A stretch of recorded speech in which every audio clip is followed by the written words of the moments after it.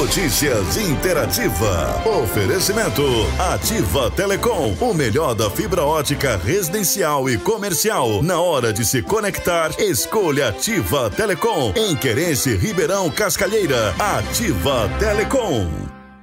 Conversamos agora com o vice-prefeito de Querência, João Pise, para falar sobre o início das obras da construção da FS, a empresa que vai então construir a usina de etanol no município.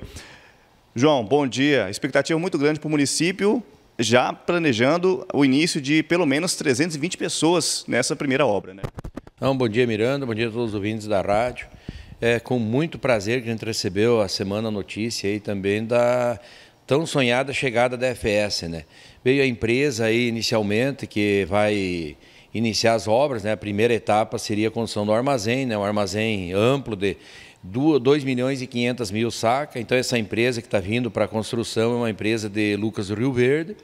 Já teve nossa cidade, engenheiro, né, o pessoal para andar e conhecer, assim, a gente, como diz, a cidade e também passar no comércio, a cidade, para arrumar parceiros, tanto do comércio como da prestação de serviço, que eles vão precisar, eles, eles disseram, muita, muita mão de obra de querência, tanto pessoas contratadas para trabalhar na obra, né, dessa construção, como também no comércio e querência para fornecer material, como parceiros de mão de obra, igual colocando como exemplo, né, essa parte de, de ferragem, né, eles vão trazer a ferragem para cá diretamente de fabricante e vão contratar empresas daqui para montar essa ferragem, fazer a solda, montar essa estrutura para construção desse armazém.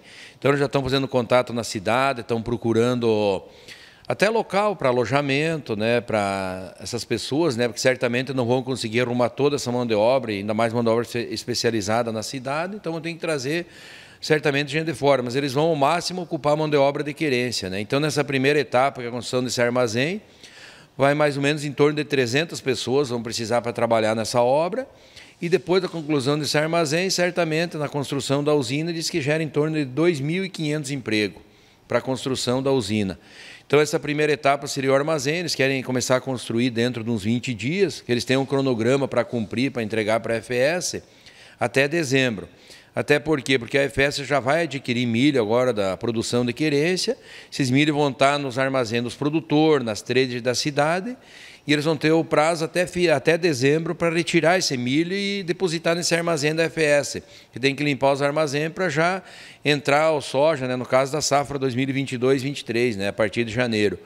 Então eles estão adiantando, estão com pressa iniciar essas obras, já vieram fazer os contatos. Agora sempre diz, é bom para querência, a gente sabe que estão uma dificuldade para arrumar imóveis aí também para alugar. Enquanto ele falou, vão ter que fazer alojamento, senão não vai ter local para colocar as pessoas. A gente sabe da dificuldade de querência de conseguir um imóvel para alugar, o crescimento é muito grande, temos muitas obras aí, mas infelizmente não acompanha o crescimento da, da cidade e a chegada de pessoas que chegam para a cidade, novas famílias, né? Isso é muito bom para nós. Vamos ter problemas, às vezes falta de sala de aula, tudo, mas a gente já está providenciando. A gente diz, é um problema, mas para nós é um problema que a gente resolve com alegria, com vontade de fazer, sabendo que a querência vai crescer muito. Isso é muito importante para nós, muito importante para a cidade e muito importante para a região também, né?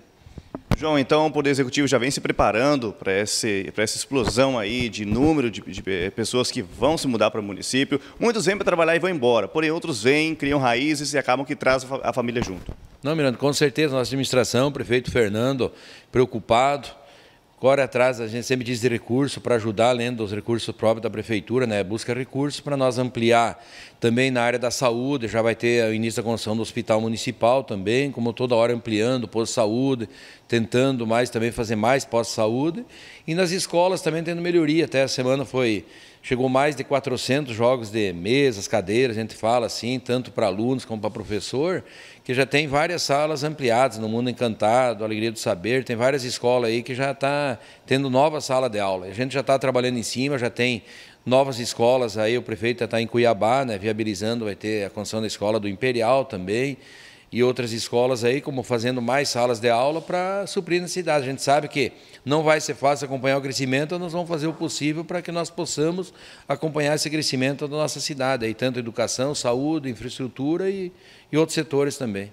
Para finalizar a expectativa do município em relação a novas empresas que vão se instalar após já o início das obras da FS. Ei, Miranda, com certeza, a gente sempre falou, no, começando a chegar as empresas, uma indústria igual a, essa, a FS, atrás dela vem muitas outras empresas, né? a gente espera que venha tanto pessoal para suprir com material, a gente sabe que vai vir, vai ter muito movimento, igual eles sempre dizem para nós, vai ter em torno de mais de 400 caminhões que entram e saem da indústria por dia, então vai vir empresas agregadas a isso, né, fabricantes, é carroceria, é caçambas, é manutenção de caminhão, e atrás disso, certamente, vai vir frigoríficos, o pessoal, o confinamento, frigorífico de frango, eh, de de suínos, de bovinos, vai ter alguma coisa que vai ter muita matéria-prima aí para ser consumida, né, em frigoríficos, em confinamentos e coisas. Então, atrás disso, com certeza, teve muitas indústrias. A gente sempre diz, além do que o prefeito Fernando e a equipe corre atrás para trazer indústria, automaticamente, vindo a FS, uma empresa grande, vai, já tem outras empresas interessadas em vir para cá também. Isso depois vai ser, como a gente diz, o prefeito fala também, vai ser uma explosão aí de empresas vindo para a querência.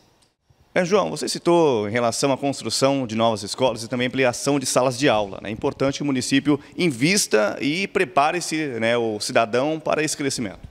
Não, com certeza. Como nós estávamos falando, tem várias escolas aí, está sendo ampliada, já foram, tem novas salas de aula já com funcionamento para esse ano letivo agora, que já se iniciou. E também tem uma construção da escola, no caso 20 de março, que é lá no, no loteamento lá que a gente diz da ECR, né, próximo ao Imperial, né, como a gente falou, no loteamento da ECR é uma escola que vai ser 20 de março, já está tudo ok para começar a mexer com licitação e tudo para que essa obra seja construída e também nós temos no Bela Vista também uma escola também que já está acertado também agora dentro de pouco tempo agora terá início também a escola do Bela Vista. Então com isso já ajuda a suprir necessidades. A gente sempre diz já está à distância a gente diz que a está crescendo muito já está ficando até distante dos alunos ser deslocados dos bairros aí até na, na cidade. Então isso vai facilitar vai encurtar a distância para as famílias ter seus filhos estudando próximo às suas residências se você ainda não visitou o canal de notícias da Interativa no YouTube, está perdendo tempo e informação. Procure no YouTube por Notícias Interativa. Em seguida, entre em nosso canal. Depois, clique em se inscrever. E não se esqueça de clicar no sininho para receber as notificações quando enviarmos um vídeo. Seja e seja informado. Tenha Notícias Interativa na palma da sua mão.